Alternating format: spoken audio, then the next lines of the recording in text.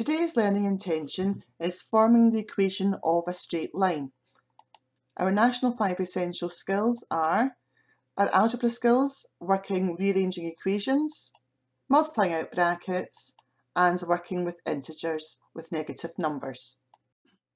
Now, prior knowledge from National 5 is that you'll already know the equation of any straight line can be written in the form y equals mx plus c where m is the gradient of the straight line and c is the y-intercept where it cuts the y-axis.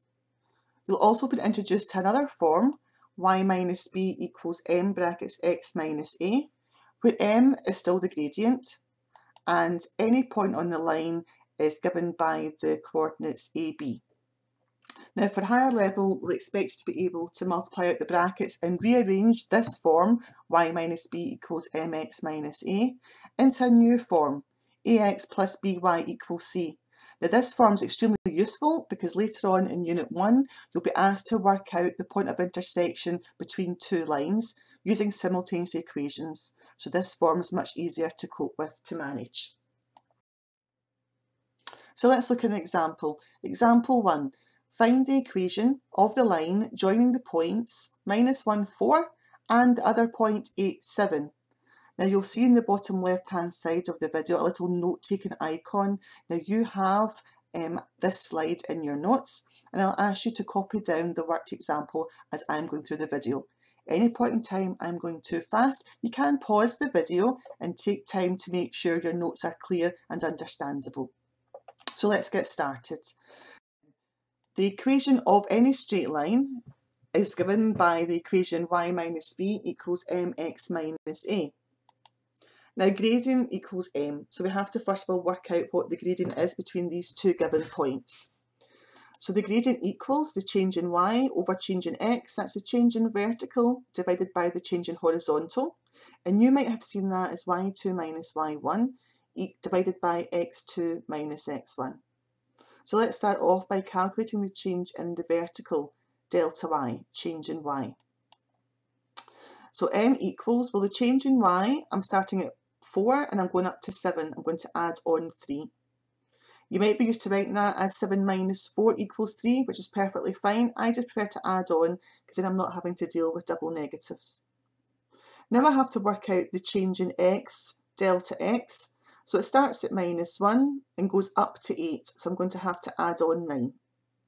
Again, you might be used to seeing that as 8 minus minus 1, which becomes 8 plus 1, which becomes 9. Either way is perfectly acceptable. So now I've calculated the gradient equals 3 over 9, and I have to simplify that to gradient equals a third. So now I know a gradient, I'm going to have to select a point on the line, AB. Now you can choose either point, point minus 1, 4 or the point 8, 7. Normally for National 5, I would always ask you to pick the easiest point, the one that doesn't have any horrible negatives in it. However, at higher level, more often than not, you're going to be asked for a point with negatives in it, so we need to work on our skills working with integers. So in this case, I've selected the point minus 1, 4. So a equals minus 1 and b equals 4. So now again, I write out the equation y minus b equals mx minus a and start to substitute in the variables m, a and b. That gives me y minus 4 equals a third brackets x minus minus 1. Now I don't want to work with fractions, I need to simplify it. So what you have to do is multiply through both sides of the equation by the denominator. In this case that's 3. That gives me 3y minus 12 equals x plus 1. So the x minus minus 1's become an x plus 1 and the third is vanished. We've simplified the equation. Now all I have to do is get rid of the bracket and rearrange into the form ax plus by equals c. That gives me x minus 3y equals negative 13. And that's the equation of the line joining the points minus 1, 4 and 8, 7. Let's try another example. Example 2. Find the equation of the line joining the points 8, negative 4 and negative 2, 1. It's the same as the last example. down the equation of any straight line is given by y minus b equals mx minus a. Now that equation, remember, you have to know it for the exam. It's not given on your formula sheet. Now the first thing I did the last time was work out the gradient. Gradient equals m, and the gradient is change in y over change in x. It's y2 minus y1 divided by x2 minus x1. Now in this case, the change in y is plus 5. From minus 4 to 1, I'm going to have to add on 5. And the change in x is, I'm starting at 8, and I'm going down now to minus 2. So I have to take away 10. And that can be rearranged into the fraction negative a half. So we're simplifying our fractions all the time at higher maths. Now I know the gradient, I can select a point on the line any point I like, I can try 8, negative 4 or negative 2, 1. It's up to you. For this example, I've gone with the point minus 2, 1. I write out the equation y minus b equals mx minus a. Instead of substituting for m, a and b, that gives me y minus 1 equals negative a half, x minus minus 2.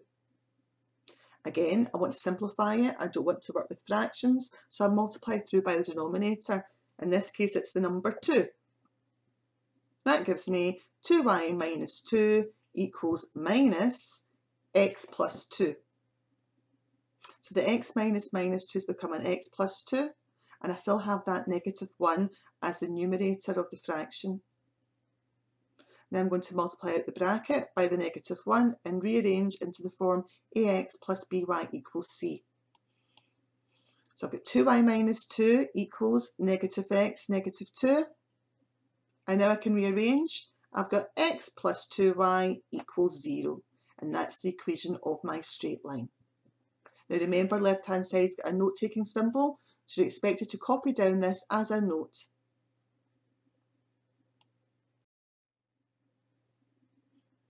Okay, so here's some examples for you to try on your own now. We're going to find the equation of the line joining the points and we have five examples for you to try on your own. To get yourself started and to give you some extra help, follow my steps. 1. Calculate the gradient m, change in y over change in x. Identify a point on the line AB, it doesn't matter. Substitute into y minus b equals mx minus a and then finally rearrange your equation into the form ax plus by equals c. At this point I'd ask you to pause the video and try these for yourself in your jotters. Once you're confident that you've finished and you've got the right answers, then restart the video again and you'll, you can mark your own work.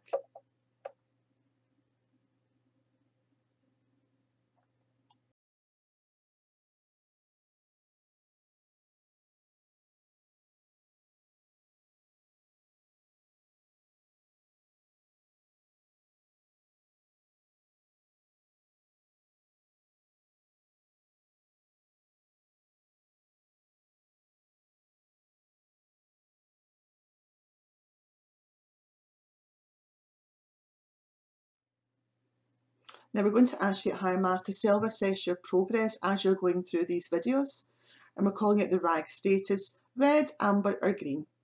So you can write out RAG and then underneath your traffic light can you please tick where you think you are. If you're having problems with those examples then tick red. If you're confident but maybe a few, a few minor mistakes, tick amber. If you've got everything right and you're completely confident and you're ready to go on to the next lesson, then tick green. If you would like some extra practice, why not try exercise 1A in page 1 of your Heinemann Higher Maths textbook. We'll probably go over this in class, but you can get started on your own. So what have we learned today? Can you please take this note into your jotter? Again, you see the note-taking symbol at the top of the page. To form the equation of any straight line, you can follow the following steps. Step 1 calculate the gradient m, which equals delta y over delta x. That's the change in the vertical divided by the change in the horizontal. Step 2 was to identify a point on the line AB and then substitute into the equation y minus b equals mx minus a. And our final step was to rearrange this into the form ax plus by equals c.